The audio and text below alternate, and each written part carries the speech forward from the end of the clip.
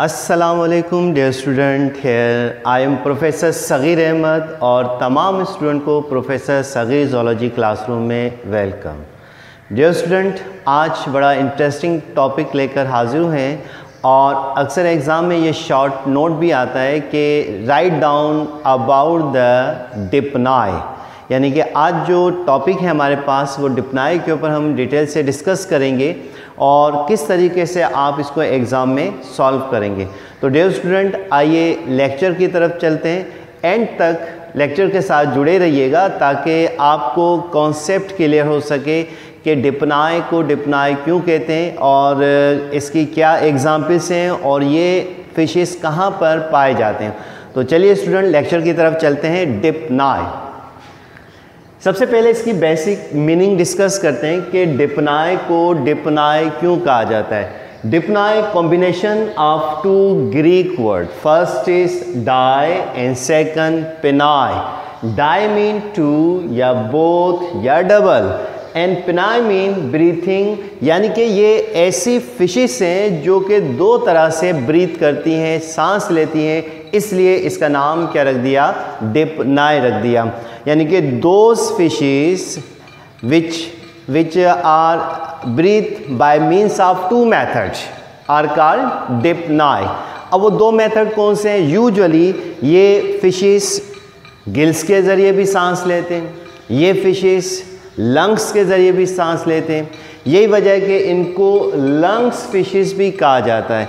तो डिपनाई बेसिकली है क्या कि ऐसी फिशेस जो दो तरह से सांस लें गिल्स के ज़रिए भी और लंग्स के ज़रिए भी तो इसे हम क्या कहते हैं? डिपनाई कहते हैं। बेसिकली डिपनाई ऑस्टिक थाइस का एक ऑर्डर है, जो कि यूजुअली लिविंग फोर्सेस के तौर पर इनको डिस्कस किया जाता है। यानी कि लिविंग जनरा है ये और डिफरेंट जोग्राफिकल रीजन्स में पाए जाते हैं। ये इनकी ख़ास बात है कि ख़ास इंडेमिक स्पीशीज़ हैं। कोई अफ्रीका में पाई जाती है, कोई ऑस्ट्रेलिया में पाई जाती है, कोई साउथ अमेरिका में पाई जाती है, इस बिहार पर इनके नाम भी दिए गए। तो Dipnoi mean double breathers, usually जब पानी अबंडेंट होता है तो ये गिल्स के ज़रिए सांस लेते हैं। और जब डेसिकेशन का प्रोसेस होता है शॉर्टेज ऑफ़ वाटर होती है ड्राउट कंडीशन होता है तो इनकी बॉडी में बेसिकली जो एयर ब्लडर्स हैं, वो मॉडिफाइड हो जाते हैं लंग्स लाइक स्ट्रक्चर तो यही वजह है कि इनको लंग्स फिशेस भी कहा जाता है। ठीक है? तो आइए इनके थ्री जेनरा कौन कौन सी हैं? Three genera found around the world पहली जेनरा जिसे अफ्रीकन लंग फ़िश कहा जाता है और इसका साइंटिफिक नेम है प्रोटोपिटेरस सेकंड है हमारे पास अमेरिकन लंग फिशेस और बेस्ट एग्जांपल है हमारे पास लैपिडो सायरन थर्ड एग्ज़ाम्पल है हमारे पास ऑस्ट्रेलियन लंग फिशेस जिसे न्यू सीराटोडस भी कहते हैं। तो ये इंडेमिक स्पीशीज़ हैं और स्पेसिफिक एरियाज़ में पाई जाती हैं। यही वजह कि उन एरियाज़ जोग्राफिकल रीजन की वजह से इन फिशेस का नाम रख दिया गया। यानी Protopterus African lung fish Africa में पाई जाती है। Lepidosiren American lung fish South America में पाई जाती है। और न्यू सीराटोडस जो कि ऑस्ट्रेलियन ऑस्ट्रेलिया रीजन में पाई जाती है, इसलिए इसका नाम क्या रख दिया? ऑस्ट्रेलियन लंग फिशेस तो नॉर्मल कंडीशन में जब पानी अबेंडेंट होता है they breathe by means of gills लेकिन ड्राउट या डेसिकेशन या शॉर्टेज ऑफ़ वाटर होता है तो उस वक्त ये लंग्स के ज़रिए ब्रीथ करते हैं। और lungs basically modified form of air bladders हैं अब जब इनके ऊपर रिसर्च की गई तो बास लंग फिशेस में एक ही, यानी कि एयर ब्लेडर यानी लंग्स मौजूद है। और बास में क्या है? दो लंग्स क्या होते हैं? पाए जाते हैं। तो इस बिहा पर ऑर्डर डिपनाए को ऑर्डर डिपनाए को दो सब ऑर्डर में क्लासीफाई कर दिया गया। कौन कौन से वो दो सब ऑर्डर हैं? एक है हमारे पास सब ऑर्डर मोनोनिमोना क्या है? मोनोनिमोना और सेकंड सब ऑर्डर है डाइनिमोना मोनोनिमोना डाइनोमोना तो आइए सबसे पहले बात करते हैं हम मोनोनिमोना के, कि what is the basic meaning of मोनोनिमोना मोनोनिमोना combination of two Greek word first is mono and second न्यूमोना यहाँ पर पी स्टूडेंट क्या है? साइलेंट है।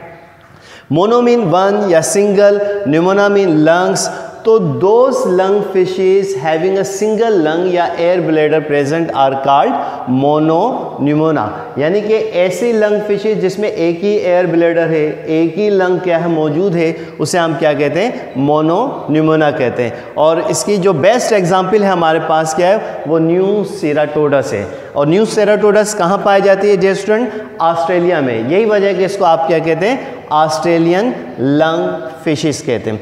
अच्छा सेकंड जो है हमारे पास सेकंड जो है डाई न्यूमोना सेकंड जो ऑर्डर है हमारे पास क्या है? Dipneumona di mean two pneumona mean lungs यानी कि those Dipnoi having a two lungs are called Dipneumona best example हमारे पास क्या है? इनकी प्रोटोपिटेरस और लेपिडोसायरन यानी कि दो बेस्ट एग्ज़ाम्पल हैं डायनिमोना की। एक है हमारे पास प्रोटोपिटेरस प्रोटोपिटेरस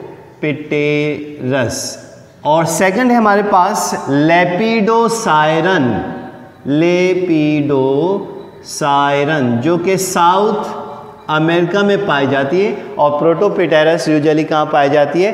अफ्रीका में। मार्शी प्लेसेस में क्या होते हैं? ज़्यादातर मौजूद होते हैं। अब जब ड्राउट कंडीशन होती है तो ख़ास तौर पर जो न्यू सेराटोडस हैं या प्रोटोपिटेरस वगैरह, ये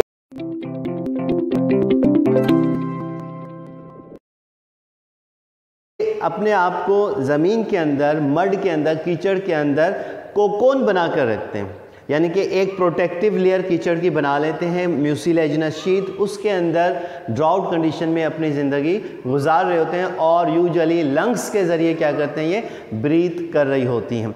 और यही डिपनाए बेसिकली एक ट्रांजिशन पीरियड है।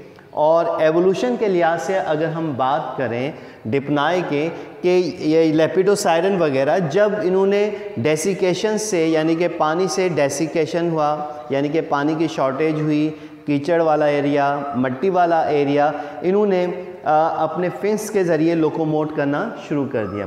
और फिंस आहिस्ता आहिस्ता मोडिफाइड हो गए लिम्स के अंदर। यानी कि ट्रांजिशन पीरियड है और ये कहा जाता है कि इन फिशेस से एम्फीबियंस क्या हुए? एवॉल्व हुए। तो विच मीन्स दैट इसकी इम्पोर्टेंस इसलिए भी ज़्यादा ज़्यादा है कि ये connection between the fishes and fishes and the amphibians तो डेयर स्टूडेंट उम्मीद है कि ये आपको टॉपिक समझ में आ गया होगा।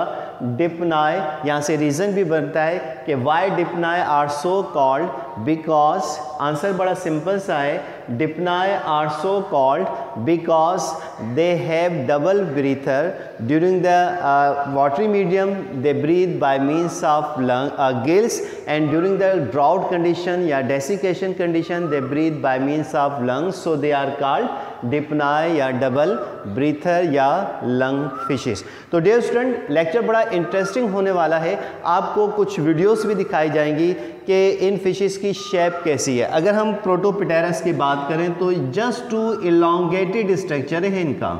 और ईल लाइक कैसे हैं? ईल लाइक इलांगेटेड और डॉर्सल फिन है, ठीक है ना? और ये इस तरीके से इस तरीके से ऑर्गेनाइजेशन है। तो लेक्चर में देखिएगा कि प्रोटोप्रेटस कैसा है। ऐसा लगता है कि ह्यूज एनाकोंडा टाइप का ये लोकोमोट करता हुआ फ़िश क्या है, मूव कर रहा है। तो अभी आप लोग इसकी वीडियो देखिएगा जो कि क्लिप लिए गए हैं। मैंने मुख्तलिफ़ वेबसाइट से। तो बड़ा इंटरेस्टिंग लेक्चर होने वाला है और ऐसा लगेगा कि एक ड्रॉ यानी कि ह्यूज एनाकोंडा क्या कर रहा है? लोकोमोट करता हुआ नज़र बेसिकली ये क्या है? फिशेस हैं। अच्छा इनकी जो फ़ूड के लिहाज से इतना कोई स्पेसिफिक टेस्ट नहीं होता बट जो नेटिव वहाँ के लोकल जो फिशर्स हैं, उसको यूज़ करते हैं यूज़ एज अ फ़ूड ठीक है? तो इतना कोई ख़ास टेस्ट इनका नहीं है। तो डियर स्टूडेंट उम्मीद है कि ये लेक्चर आपको समझ में आ गया होगा। तो नेक्स्ट क्लास में नेक्स्ट वीडियो के साथ हाजिर होंगे। तब तक के लिए अपने सर प्रोफेसर सगीर अहमद को इजाज़त दीजिए। अल्लाह हाफिज़।